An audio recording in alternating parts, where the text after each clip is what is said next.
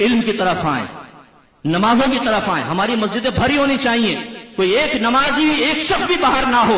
अपने घरों में सख्तियाँ करें, अपनी बीवी को नमाजी बनाएँ, अपने बच्चों को नमाजी बनाएँ। और अगर आप इतने खौफजदा हैं कि सोई हुई बीवी को जगा नहीं सकते तो खुदारा अपने आप को मर्द कहना छोड़ दें। जो इतने कमज़ोर हो चुके हैं कि नहीं, बीवी ऐसा ना हो कि उठ के चीखना चिल्लाना शुरू कर दे।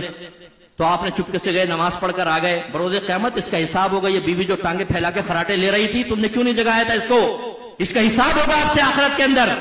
जवान बेटा पड़ा, सो रहा था, क्यों नहीं हिला के उठाया उसको? क्यों आप इतने खौफजदा हुए अपने जवान बच्चे से? उसे बेमन बना दिया, उसे बेनमाजी होने का आदि बना दिया। अब बाप रहता है अपने बच्चे को उठाते हुए कि उठाऊँगा तो नाराज़ हो जाएगा। ये खराब माहौल आपकी आखिरत को बर्बाद कर सकता है, याद रखें। तो आइए सुन्नियत को मज़बूत करें। इल्म दीन सीखिए। ये कहते हैं हमारे गाँवों के अंदर, गाँव के अंदर उमूमी तौर पे चार दीवारी तक बाद नहीं होती है सहन के अंदर काम कर रही होती हैं ख़वातीन, और ये ख़ुद बीमार हैं, इनकी जोजा दूध वगैरह का जैसे मामला होते हैं, करती हैं, उसमें शायद मर्द भी आते होंगे दीगर, या आते जाते लोगों की निगाह पड़ती होगी तो पर्दे में किस हद तक सख्ती होगी? देखें, हमारा मज़हब इस्लाम एक बेहतरीन मज़हब है। अगर एक औरत अपने आप को पूरी कवर कर सकती है, उसको कवर करने में कोई दुशारी नहीं है, तंगी नहीं है, नुकसान नहीं है तो शरीयत उसको बिल्कुल रियायत नहीं देगी कि आपको ऐसा ही रहना है। लेकिन जैसे जैसे तंगी बढ़ती जाती है, जैसे जैसे नुकसान के इम्कान बढ़ते जाते हैं, शरीयत आसानी देती है। जैसे हमारी बहुत सारी बच्चियाँ, हमारी बहनें बाहर के मुल्कों में हैं और वहाँ पर बाद अवत वो बुरक़ा नहीं पहन सकती, वो स्कार्फ नहीं पहन सकती हैं, स्कार्फ तक नहीं पहन सकती हैं। निकाब करना बहुत दुशवार होता है। बाज़ बच्चियाँ बमर मजबूरी उनको जॉब लाजिम करनी होती है, वरना घर का निज़ाम नहीं चलता और कोई कफ़ील नहीं होता। तो ऑफ़िस की फैक्ट्रीज़ की अपनी रिक्वायरमेंट होती है कि किस तरह का आपको लिबास पहनना है। अगर जो फाशी का नहीं कहते, लेकिन बहरहाल पूरा हमारे पर्दे का निज़ाम, जो मज़हब इस्लाम का, वो नहीं होगा। तो क्या मतलब है कि फिर वहाँ पर यह कहा जाए कि आप वहाँ छोड़कर वापस आ जाएँ पाकिस्तान, हिंदुस्तान, या फिर आप मुसलसल उनके ऊपर गुनाह का हुक्म लगाएँ? नहीं, शरीयत रियायत देती चली जाती है। इसी तरह जैसे कनीज़ें होती थी पहले दौर में, वो चूँकि घर में खादिमा होती थी, काम करती थी और काम करते हुए अपने आस्तीनें भी ऊपर करनी होती हैं तो कपड़े धोते हुए पाइचे ऊपर करने होते हैं, वो बाहर जाके सौदा सलफ लाती थी तो उनके पर्दे के अहकाम उस दौर में भी उनके लिए कम थे। उनके लिए सर के बाल खोलना जायज़, कलाइयाँ खोलना जायज़, आधी पिंडली तक अपने कपड़े ऊपर कर लेना जायज़, पर्दे का उनके लिए हल्का हुक्म था।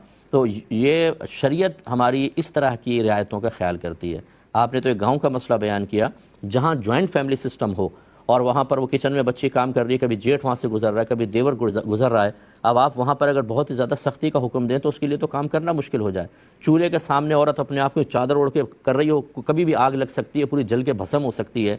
शरीत ये कोई कहती है कि नुकसान का आप शिकार हो जाएँ। वहाँ पर रियायत सीखनी चाहिए।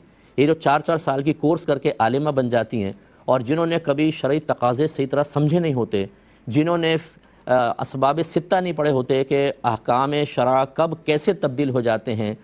किन इसबाब की वजह से जो सबका हुक्म बाहर शरीत में लिखा है बैनी बयान कर दें तो जुल्म और गुनाह बन जाएगा। इसका शौर कुछ नहीं हासिल होता। और वो तकवे का झंडा उठाकर पूरे घर का सुकून बर्बाद कर रही होती हैं। और ये नहीं होगा, ये नहीं होगा, वो नहीं होगा। आपको पता है कि शरीयत इस मामले में आपके साथ, दीगर मामलों के साथ, दीगर लोगों के साथ क्या रियायत का मामला करती है? मालूम है आपको? उनको पहले सीखना चाहिए। तो ये मेरा बहुत ज़्यादा मुशाह है। तीस साल हो गए हमें काम करते हुए। ये जो सतही किस्म की आलिमा बनकर फिर अपने इल्म का इजहार करके अपनी भी ज़िंदगी तंग करती हैं, दूसरों की ज़िंदगियाँ तंग करती हैं, ये तकवा नहीं होता बादत बल्कि ये एक गुनाह का रास्ता होता है। आपको हैरत होगी, लेकिन गुनाह का रास्ता होता है, क्योंकि शरीयत वहाँ पर एहतियात को तर्क करने का बाद हुक्म देती है, उसकी इजाज़त देती है और रियायत का रास्ता इख्तियार करने का हुक्म देती है, लेकिन वो सख्ती की तरफ़ आते हैं और ये वो अमूमन अपनी ज़ात तक महदूद नहीं रख पाते, पूरे घर को डिस्टर्ब करते हैं, इसलिए गुनागार भी होते हैं। इस तमहीद के बाद अब आपका मैं जवाब देता हूँ, लेकिन एक मुख्तसर से ब्रेक के बाद। रहीम तो ये भाई ने जो क्वेश्चन किया अभी ये तमहीद आप जहन में रखें, उसके मुताबिक जहाँ ऐसा माहौल हो कि वहाँ पर्दा करना मुश्किल, चार दीवारी मौजूद नहीं है, वहाँ हम ये तो नहीं कहेंगे कि शुतरे बेमुहार हो जाएँ, लेकिन जितना हो सके अपने आप को बचाएँ। गैर महरम, जैसे कोई आए तो एक सर पे दुपट्टा हो, उसको आगे कर लें, या बाद औरतें इस तरह जो गोबर वगैरह के पास काम कर रही होती हैं तो वो दुपट्टा भी उतार के रख देती हैं। तो वो कोशिश करें कि कोई स्कार्फ वगैरह ऐसा बनाएँ कि बाल ढके हों, पीठ उस तरफ़ रखें जो गुजरने का रास्ता है, और ये काम करें। फिर भी अगर किसी ने, आपने कलाई ऊँची कर रखी है, यानी आस्तीन ऊँची कर रखी है, कलाई पे किसी की निगाह पड़ गई, आपने थोड़ा सा अपने शलवार या तहबंद को ऊँचा किया हुआ है, बहन की पिंडली पे निगाह पड़ गई, गुजरते हुए आदमी की, अल्लाह ताला मुआफ़ फरमाएगा, क्योंकि शरय मजबूरियाँ हैं। तो ख़ुलास कलाम ये है कि अगर कहीं पर मुकम्मल तौर पर पर्दा करने में दिक्कत हो, हरज शदीद हो नुकसान का शिकार हों तो वहाँ पर जितनी वो आसानी से पर्दा कर सकती हैं, उसकी इजाज़त होगी। लेकिन इसका मतलब ये नहीं है कि बिल्कुल ही आप शरीयत का हुक्म उठा दें। कि हमारे यहाँ तो सब एक रवाज चल रहा है, हँसी मज़ाक भी चल रहे हैं।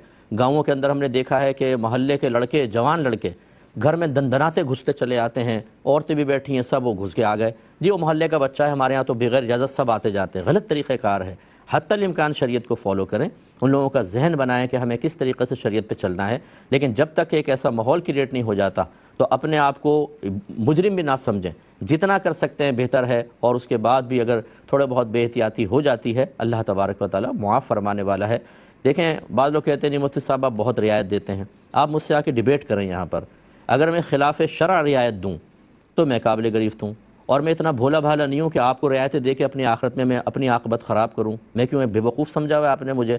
मैं वहीं पर रियायत दूँगा कि जहाँ शरीयत रियायत चाहती है। और जिन लोगों ने रियायत को भी पढ़ा ही नहीं, उन्हें क्या पता? जो सख्ती सख्ती सख्ती, तकवा तकवा तकवा। अरे भाई, हर जगह तकवा नहीं चलता है। आला हज़रत ने ऐसे तकवा इख्तियार करने वालों की किस तरह से मजम्मत की है? इसके लिए आप मेरी किताब पढ़ें, क़ुरब इलाही। उसमें देखिए आप, उसमें जो पाक, नापाक, हराम हलाल के मसाइल का एक चैप्टर मैंने डाला है वो पढ़ने के काबिल है। उसमें आला हज़रत की जो इबारतें मैंने डाली हैं, वो जाहिदान खुश्क करार दिया है अपने ऐसे लोगों को कि जो ज़िंदियाँ तकवे के नाम पर दूसरों को भी बर्बाद करते हैं, अपनी ज़िंदगी में तंग करते हैं और मतलब जहाँ पर अपनी गोट ना फंस रही हो, वहाँ पर लोगों को तो पता ही नहीं होता वह खूब रियायत रियायतें हासिल कर रहे होते हैं। और फिर हम जैसे आदमी को जी मुझसे बहुत रियायत देते हैं। आइए आप बैठे, मैं आपको पचासों मसले समझा देता हूँ, जिसमें आपको शायद पता भी नहीं और आप खुद रियायतें ले रहे हैं और वहाँ पर तकवा आपको याद नहीं आता। लेकिन हम जब ऐसे कोई बयान करते हैं तो ये बड़े देखिए मुस्साब ने ऐसा बयान कर दिया। अच्छा इसका मुतबादल हल आप बता दें। और वो बिल्कुल शरीयत के मुताबिक होना चाहिए। तो इसलिए इस पर डिबेट होनी चाहिए। अगर कोई एतराज़ करता है तो आइए बैठे गुफ्तु कर लेते हैं। बहुत अच्छी बात है। वरना हमारे दिल में भी आपकी तरह का नहीं होगा। थोड़ा बहुत तो खौफ खुदा होगा। जितना आपको आखरत गिरफ्त का एहसास है, उतना मुझे नहीं होगा। उससे थोड़ा बहुत तो होगा। ये हुसनदानी कायम कर लें। इसलिए हमारे भाई बहन जो हमें सुन रहे हैं, बिल्कुल फ़िक्र ना करें। कितनी बच्चियाँ ऐसी हैं जो बाहर के मुल्कों में उनकी डिलीवरी होती है और वहाँ पर मजनबी मर्द भी खड़ा होता है, सितर खोलना पड़ता है। क्या ये कोई ऐसी शरी मजबूरी इनके नज़दीक जो साहिब तकवा है, ये तो होनी नहीं चाहिए, क्योंकि वो यहाँ पर आए, पाकिस्तान में डिलीवरी करें और बच्चे को यहाँ से ले जाए, यहाँ फीमेल डॉक्टर होंगी, सब कुछ होता है। क्यों वहाँ पर करने देते हैं? क्यों इसको मसले को बयान नहीं करते एलानिया तौर पर पब्लिक के सामने? वहाँ पर क्यों इजाज़त दे दी है? तो इस इस वजह वही है कि शरीयत रियायत दे रही है। शरीयत आसानी फराम कर रही है। यहाँ पे बच्चा पैदा होगा, वहाँ का उसको नेशनलिटी नहीं मिलेगी। वहाँ का पैदा होगा तो उसको बेनिफिट्स वहाँ के एतबार से मिलेंगे। ये कोई ऐसी मजबूरी है कि एक औरत अपना सितर खोल दे? ये साहिब तकवा लोगों से आप क्वेश्चन करें। ये मैंने इसलिए आपको अर्ज़ किया कि जब हम इस किस्म की कोई बात बयान करते हैं ना तो बहुत सारे मुतकी खड़े हो जाते हैं। जी, मुफ्ती साहब ने ऐसी बात कह दी। खिलाफ शरा कहें, आप हमारी ज़रूर असलाह करें और इन हम कबूल भी करेंगे। लेकिन अगर आपको खुद शूर हासिल नहीं है कि इसबाब सत्ता की बिना पर कहाँ पर मसले बदलते हैं? पहले ज़माने का मुफ्ता भी, आज गैर मुफ्ता भी कौल हो जाता है। पहले का राज्य, आज का मरजू। और पहले का मरजू, आज का राज्य हो सकता है। इतना शौर है आपको कि कहाँ पर कौन सा फतवा देना है? तो ये सीखना होता है, फिर पता चलेगा। ये कहते हैं फॉरेक्स ट्रेडिंग के बारे में बता दें। देखिए इंटरनेट पे जो इस तरह की ट्रेडिंग्स होती हैं, उसमें ज़रूरी होता है कि एक तो माल आपने फिज़िकली तौर पे मौजूद हो, ठीक है? दूसरा, जब आप ख़रीद लेते हैं तो आपका कब्ज़ा उसके ऊपर हो। फिर तीसरा, आप उसको बेच सकते हैं। बाद आप सिर्फ़ पैसा भेज देते हैं, ना फिज़िकली तौर पर कोई माल है, ना कुछ। आपने सोने में इन्वेस्ट किया है, सोना मौजूद ही नहीं है। बस वो ये कहेंगे कि एक महीने के बाद अगर सोने के रेट बढ़ गए, आपको इतना परसेंट हम नफ़ा भेज देंगे। अब ना सोना है, ना उस पर कब्ज़ा किया खाली मार्केट के रेट की वजह से थोड़ा सा सोना बढ़ा और आपको पैसे भेज दिए, ये शरण बिल्कुल जायज़ नहीं।